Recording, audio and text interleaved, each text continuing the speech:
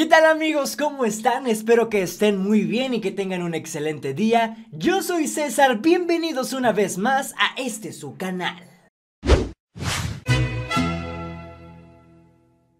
Amigos chapines, me acabo de enterar que su celebración a Semana Santa es patrimonio mundial, quiere decir que en ningún otro lado se celebra de igual manera y me interesa mucho, me encanta la idea de aprender de ustedes y conocer por qué. A ver, vamos a ver por qué es una serie de celebraciones que muy seguramente no hay. No hay otro país que la celebre igual que ustedes. Patrimonio mundial. Chécate la nota de El Excelsior, un periódico de acá de México, que dice lo siguiente. Las nubes de humo del incienso abren paso este viernes a coloridas procesiones en las calles de Guatemala, donde la celebración de la Semana Santa es una fiesta nacional. Y ahora también patrimonio de la humanidad. Órale, qué bonito ha de ser eso, ¿no? Que como país aportes eso al mundo y ser este premiado, digamos, condecorado, ¿no? Con este reconocimiento de, de, que una de tus celebraciones sea patrimonio de la humanidad. Y es que miles de fieles con túnicas moradas y el rostro cubierto con capuchas negras o cucuruchos cargan en hombros imágenes de Jesús al ritmo de la música mientras avanzan a paso lento sobre alfombras multicolores de flores o acerrín perfumado decoroso el fruto aromático de una palma. Ok, yo estoy completamente listo. Me encontré con un video en YouTube del canal de Ministerio de Cultura y Deporte de Guatemala, donde nos presentan por 10 minutos un breve resumen de cómo es esta celebración y la historia que tiene más de 20 siglos en Guatemala. Yo estoy completamente listo para reaccionar, así que vamos a iniciar. Existe un país en el corazón de las Américas, Guatemala, con más de 3.000 años de riqueza cultural, en donde todo un pueblo conmemora una tradición que muestra el sincretismo entre las costumbres religiosas de los pueblos originarios y la civilización hispánica. Ajá, venga, venga. Ah, Caracas. Ah, qué interesante se ve eso, ¿eh? Santa en Guatemala.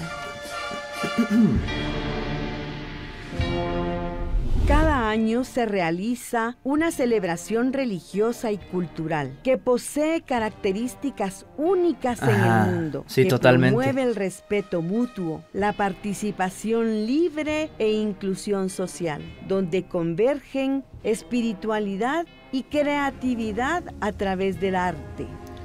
Guatemala es un país pluricultural, pluriétnico, plurilingüe, pero a veces en la búsqueda de nuestra identidad tenemos elementos comunes, como es la religiosidad, viéndola desde los grupos de tradición mesoamericana como los grupos de cultura occidental.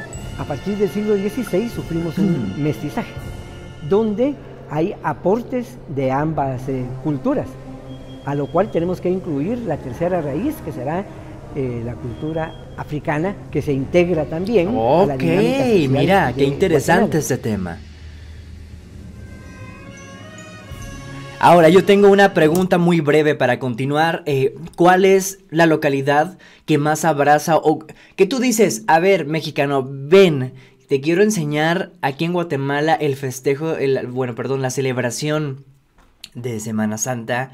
¿A dónde me llevarías? O sea, ¿dónde es donde se realiza el, el mayor, así, la mayor celebración de este tipo? ¿O es en todo Guatemala, así que en cada localidad o región o, así? Eh, yo diría que tal vez es en la capital o en la antigua Guatemala, ¿no? O en Atitlán. No sé, no sé, no sé. Esta dinámica, donde la fe cristiana se fusionó con las costumbres prehispánicas, dio origen a nuevos rituales en el arte religioso que despiertan los cinco sentidos.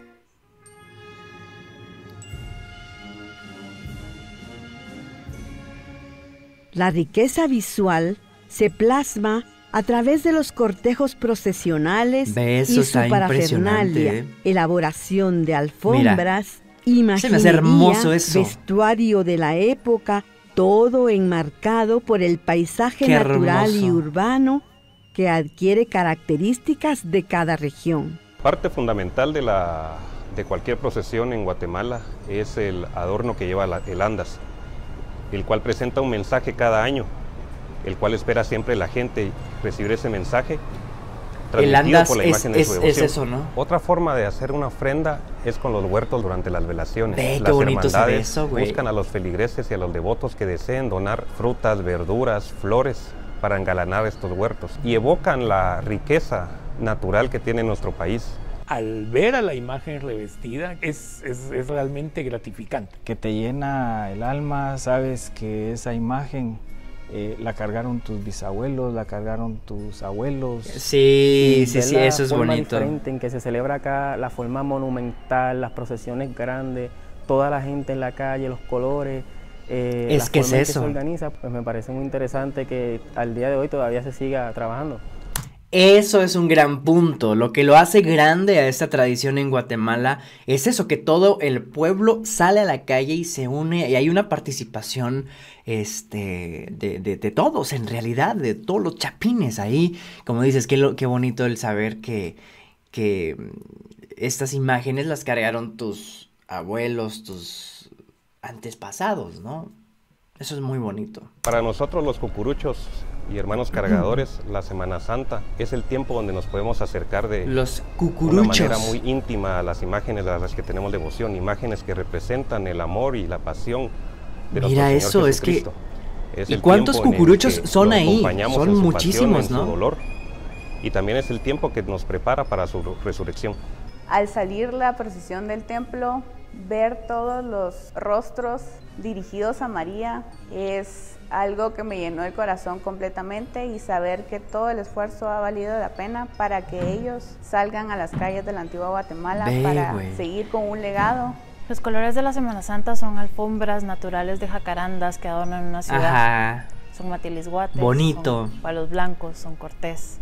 Son manos teñidas de morado penitente, creadoras de alfombras que dejan un paso de un andas procesional. Son flores, son balcones, son matices, son colores y olores. Sí, güey, sí está muy lindo, la neta. Ok, está diciendo lo que te despierta los, los sentidos. Ya fue la luz, la mirada, ¿no? Venga ahora. brindan el, marco olfativo al ritual de la Semana Santa. Hay olores que me transportan a otras épocas. El olor a corozo y a incienso traen a mi memoria mis primeras procesiones junto a mi papá, junto a mi abuelo, por las mañanas yendo con mi abuelita por las flores. Realmente es una época de gran fe y devoción, pero también de muchísima unidad familiar. Mire, las flores que ahorita vendemos son las flores moradas, que se llaman estaticias. La flor morada y exofilia blanca el trébol es compañía del corozo para tener un ambiente cuaresmal en nuestros hogares. La diversidad de flora que crece en Guatemala brinda una serie de hierbas y frutos, ofrenda propicia tanto para rendir culto como para purificar el espacio y el cuerpo. La sensación y la textura, sensaciones, y texturas. y sentimientos se ¿eh? mezclan al momento de realizar una alfombra, cargar. El ver a los niños también tan comprometidos, ¿no? Ahí. Están contentísimos eh, aportando su granito de arena con estos bellos este, alfombras. Una anda procesional llenan de espiritualidad mm. intrínseca a cada persona que lo vive. Parte de mi familia tiene la tradición de realizar alfombras desde hace más de 50 o 60 años. Tradición que se ha ido heredando de generación en generación. Hasta mis hijos que ahora juegan con el acerrín, aprendiendo a realizar este bello arte. Para la elaboración de las alfombras, cada familia que la realiza decide el material usarse. Lo más tradicional es el acerrín teñido o pino y flores. Algunas familias o grupos, su forma de darle la ofrenda al Señor es poniendo parte de su trabajo, ya sea textiles típicos o frutas y verduras que han cultivado. Estar en contacto con la calle, con el, la base de... Ve ese, ese nivel, güey. Ese nivel está cañón. que se tiene o el arte que cada familia puede tener. Aquí es donde hacemos los moldes para las alfombras de Semana Santa. Al momento de iniciar a cargar, sentir ese peso en hombros, recostar mi rostro sobre landas e iniciar mi conexión con espiritualidad, es ahí donde recuerdo a mi abuelita diciendo, si te pesa más, es porque tenés más pecados. Es ahí donde empieza mi Semana Santa. ¡Ah, la madre! ¡Qué bien! Es que es eso, qué bonito, güey, que, no se pierda este rollo. De, sí se vive definitivo eh, mucho, muy fuerte este tema del Semana Santa en Guatemala. No por nada es ahora patrimonio eh, mundial de la humanidad. Este, yo, yo creería que, aparte de Guatemala, por ejemplo, muy probablemente en, el sur de México, en toda esa región, incluso colindante con Guatemala y toda esa parte, se vive algo muy, muy similar. Yo vivo muy al norte, acá en Chihuahua, esto no se ve definitivamente. Eh, y, verlo así es, es, muy bonito, ¿no? Es muy bonito. Fíjate lo que dijo esta, esta chica, esta chava. Dice, cuando siento el peso de landas, ellos se refieren a landas, eh, a, esta, a esta parte que van cargando, ¿no? Em, cuando siento el peso de landas es cuando recuerdo a mi abuelita decirme, si lo sientes muy pesado es el peso de tus pecados, güey. Y aquí es muy bonito porque ya está recordando a su abuela que probablemente ya no está con ella, está recordando a su abuela que fue quien le inculcó esta tradición y, eso es bellísimo. Pasar de generación en generación estas tradiciones, muy lindo, ¿eh?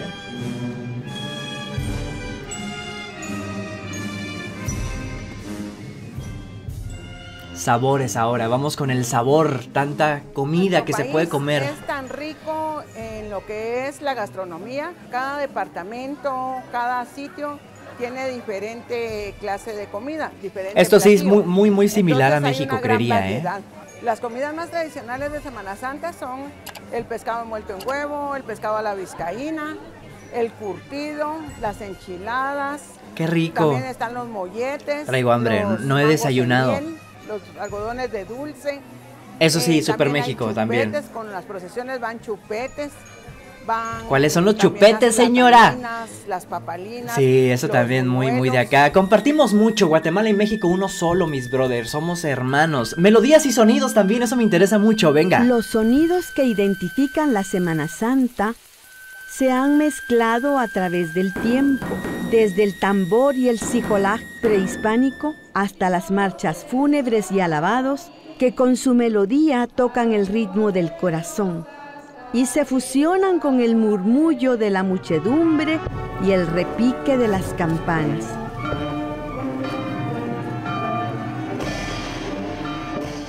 Nos dejamos llevar por el ambiente invadido de música, con notas de marchas fúnebres, tambor y pico.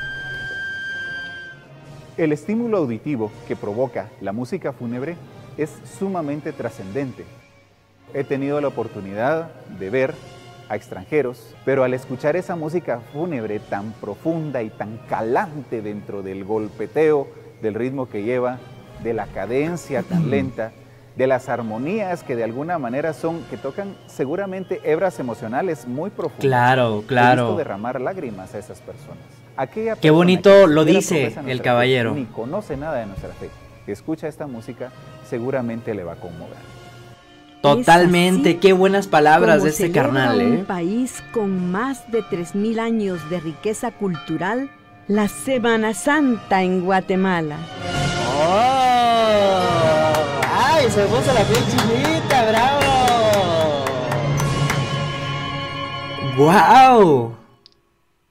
Ah, qué buena producción también del canal de Ministerio de Cultura y Deporte de Guatemala. Felicidades por el video. Es un video ya de hace un par de años. Pero mira. Qué, bonito. No es solo traer. Fíjate un comentario acá de la gente que, que luego, luego pone acá.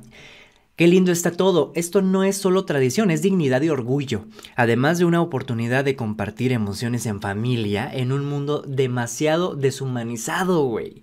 Saludos y a seguir por otros cientos de años más. Desde Málaga. ¡Oh! Qué, qué, bonito comentario! Me gustaría mucho asistir a alguna de este tipo de celebraciones que realizan en Guatemala tan, tan así, tan, tan vivas para vivirlas a flor de piel, este, porque bueno, en un, en un video de 10 minutos, pues obviamente es imposible que se puede, que se puede plasmar una celebración tan importante para ustedes, este, y para, digo, toda la religión, ¿no? Entonces vivirlo ahí como a flor de piel y captar y, es, ha de ser bellísimo. Entonces, pues para la otra, espero que para el próximo año me toque eh, vivir algo así. Amigos chapines, les mando un fuerte abrazo, pura vida, cuídense mucho, nos vemos en el próximo video y que Dios me los bendiga siempre, ¿sale? Nos vemos pronto, Guatemala, cuídense mucho, pura vida y nos vemos a la próxima. Bye bye.